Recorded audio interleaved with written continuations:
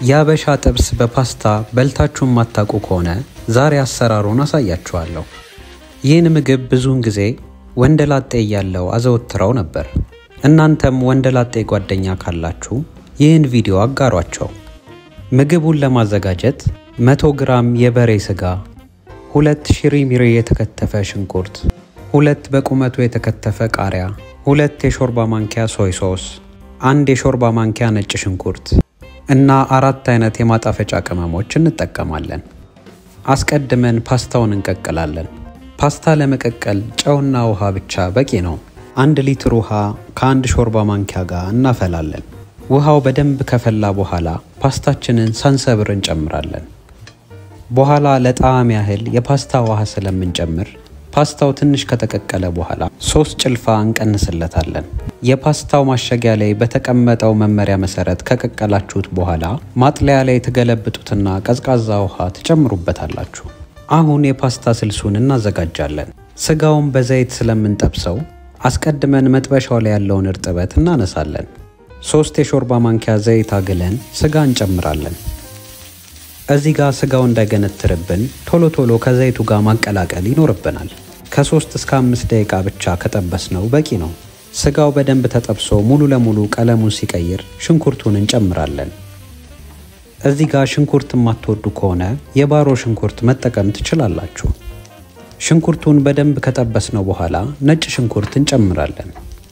የፓስታው መጣፈጥ ዋነኛ ሚስጥሩ ነጭ ሽንኩርቱ ስለሆነ ነጭ ሽንኩርቱን ብትጨምሩት ይመከራል። አሁን የማጣፈጫ ቅመሞች እንጨምራለን።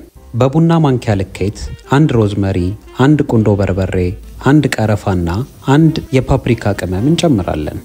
ሁሉም የቅመም አዘገጃጀቶች እዚሁ ገጻችን ላይ ይገኛሉ። ሁለት የሾርባ ማንኪያ soy sauce እንጨምራለን። soy sauce ኡን ከጨመርን በኋላ በደንብ አድርገን ከስጋው ጋር እናዋህደዋለን። በቤት ውስጥ ሶይ ሶስ ከሌላችሁ ደግሞ እንደ አማራጭ ቀይ ወይን መጠቀም ትችላላችሁ። ይህም የራሱ የሆነ ቆንጆ ጣዕም ይሰጥልናል። ነገር ግን ቀይ ወይን የሶይ ሶስን ጣዕም ይተካል ማለት አይደለም። ትንሽ ጨው እንጨምራለን። ሶይ ሶስ በባህሪው ጨዋማ ስለሆነ እዚህ ጋር የምትጨምሩት የጨው መጠን አስቀድማችሁ ቀምሳችሁ ቢሆን ይመረጣል። እኔ እንደ አማራጭ በቁመቱ የተከተፈ ቲማቲም ጨምሬበታለሁ። ነገር ግን እናንተ አለመጨመር ትችላላችሁ። ከጨመራችሁ ደግሞ የቲማቲሙን ፍሬ ብታወጡ እመክራችኋለሁ። ስለ አሰራሩ ማንኛውም ጥያቄ ካላችሁ አስተያየት መጻፊያው ላይ ጻፉልኝ። አሁን የከተፍነውን ቃሪያ እንጨምራለን። ቲማቲሙን ከመጨመራችሁ በፊት እሳቱን መቀነስ እንዳዘነጉ። አሁን ቅድም የቀነስነውን የፓስታ ውሃ እንጨምራለን። የፓስታ ውሃ መጨመር የሚጠቅመን ስልሱን ለማወፈርና መረቅ እንዲኖረው ነው። የቀቀልነውን ፓስታ ጨምረን ከስልሱ ጋር በደንብ አድርገን እናዋህደዋለን። እዚህ ጋር ፓስታው ቀዝቅዞ ስለሚመጣ የእሳት መጠኑን ትንሽ ጨምሬዋለሁ።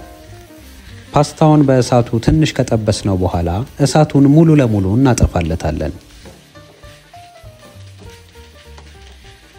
ፓስታውን በምቀላቅሉበት ወቅት እንዳይቦካባችሁ ቀስ እያላችሁ ቀላቅሉት። ወይም ምስሉ ላይ በምትመለከቱት መሰረት እዛው መጥበሻው ላይ እያገላበጣችሁ ቀላቅሉት። እንግዲህ ፓስታ በጥብስ ይህንን ይመስላል። አሁን አሳምረን እናቀርባለን። ፓስታውን ዝርግ ሳህን ላይ ወይም ትሪ ላይ ገልብጦ ከማቅረብ ይልቅ እንደዚህ ጎድጓዳ ሳህን ውስጥ አድርጋችሁ ብታቀርቡት ተመራጭ ነው። በመለኛ ገጽ በሚቀጥለው እንዳሳያችሁ የምትፈልጉት የምግብ አይነት ካለ አስተያየት መጻፊያው ላይ ጻፉልኝ። መልካም የእረፍት ቀንና ሰንበት እንዲሆንላችሁ እመኛለሁ። እናመሰግናለን።